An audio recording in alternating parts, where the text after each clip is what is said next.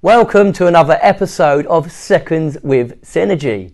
This is where we deliver short, sharp messages to tradespeople operating businesses within the construction industry.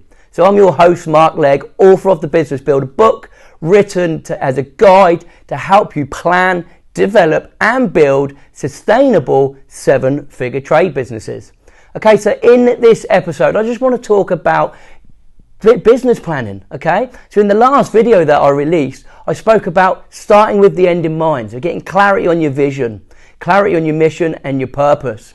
Once, once we've got clarity on the end in mind, we need a business plan. How are we going to achieve this vision? Okay, we need a business plan that contains long term and short term goals.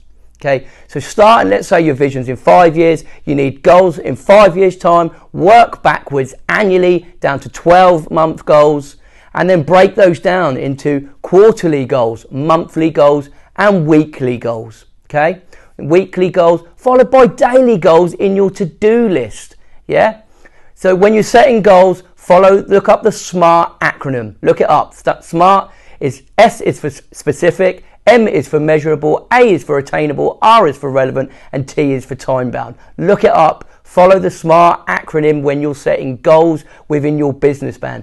Your business plan is a roadmap to get you from where you are today to your end in mind.